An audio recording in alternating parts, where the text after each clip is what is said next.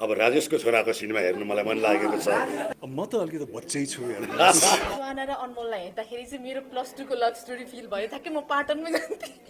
को को हराउँदा पनि मेरो रोन हराएकै फिल गरेँ। अँ भने कान कान यसो गर्नुपर्छ। कान यसो गर्नुपर्छ। ए मेरो हजुर चार हेर्न नायिका पूजा शर्मादेखि राजेश समाल पुगे चलचित्र ए मेरो हजुर चारले गर्यो चार करोडभन्दा माथिको बक्स अफिस कलेक्सन नमस्कार दर्शक वृन्दै स्वागत छ तपाईँलाई गजबु टिभीमा। आज हामी जानकारी गराउनेछु। चलचित्र ए मेरो हजुर चार हेर्नको लागि महानायक राज समालदेखि नायिका पूजा शर्मा गएका छन् आदरणीय महानुभावहरू आखिर कस्तो दिए त प्रतिक्रिया?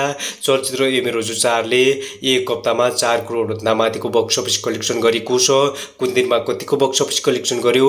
यसै बारेमा जानकारी गराउनेछु। भिडियो निकै नै इन्ट्रेस्टिङ बनेको छ। पक्कै पनि अन्तिमसम्म हेर्नुहोला मन परेको छ भने लाइक कमेन्ट एन्ड सेयर गर्नुहोला यस्तै विभिन्न जानकारीमूलक भिडियोहरू फिल्मी न्युज हेर्नको लागि गजब टिभीलाई सब्सक्राइब गर्न भने नभुल्नुहोला वैशाख एक गतिबाट प्रदर्शन भएको चलचित्र ए मेरो जुचारले एकदमै सुखद बक्स अफिस कलेक्सन गरिरहेको छ। हो आदरणीय महानुभावहरू समक्षक र दर्शकहरूबाट एकदमै राम्रो प्रतिक्रिया पाएपछि चलचित्र ए मेरो जुचारले दिन प्रतिदिन एकदमै राम्रो बक्स अफिस कलेक्सन गरिरहेको छ।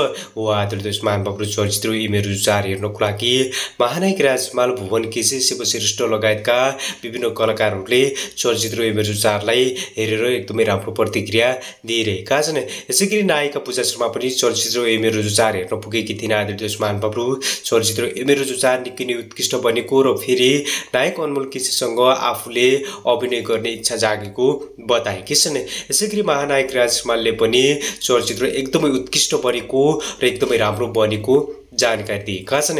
यसै गरी चलचित्र एमएजु चारले एकदमै राम्रो बक्स अफिस कलेक्सन गरिरहेको छ। आदरणीय महानुभावहरू दर्शकहरूबाट पनि एकदमै राम्रो प्रतिक्रिया पाइरहेको छ।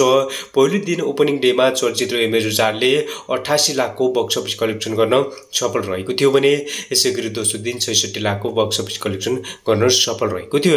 यसै गरी तेस्रो दिन चलचित्र एमएजु चारले उनानब्बे लाखको बक्स अफिस कलेक्सन गर्न सफल रहेको थियो। यसै गरी पहिलो विकेटमा चलचित्र एभेन्जर चारले दुई करोड त्रिचालिस लाखको बक्स अफिस कलेक्सन गर्न सफल रहेको थियो। यसै गरी चौथो दिन चलचित्र एमेजु चारले पैँचालिस लाखको करस कलेक्सन गरेको थियो भने यसै गरी सोमबारको दिन चलचित्र एमेजु चारले एकचालिस लाखको करस कलेक्सन गर्न सफल रहेको थियो। यसै गरी मङ्गलबार भने चलचित्र एमेजु चारले छत्तिस लाखको ग्रस कलेक्सन गर्न सफल रहेको थियो। यसै गरी चलचित्र एमर्जु चारले एक हप्तामा चार करोड एक लाखको गरस कलेक्सन गर्न सफल रहेको छ आदरणीय महानुभावहरू यसै गरी चलचित्र एमर्जु चारले बिहिबार र शुक्रबारको मिलाएर चार करोड पचपन्न लाखको गरस कलेक्सन गर्ने देखिएको छ चलचित्र इमेज चारको लगानी तिन करोड रहेको थियो भने चलचित्र इमेज चार अहिले नाफामा चलिरहेको छ। तपाईँहरूले चलचित्र इमेज चारलाई हेर्नुभएको छ कि छैन? यदि हेर्नुभएको छैन भने नजिकको सिनेमा हलमा गएर हेर्न सक्नुहुन्छ।